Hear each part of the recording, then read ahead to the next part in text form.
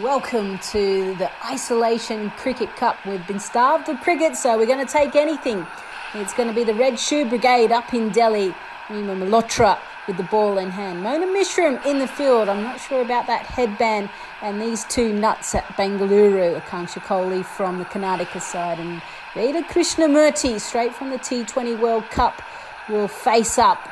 Lotra in, and she's probably forgotten how to bowl, seeing as now that she's a commentator. But, a little bit argy bargy with these two. Once close friends.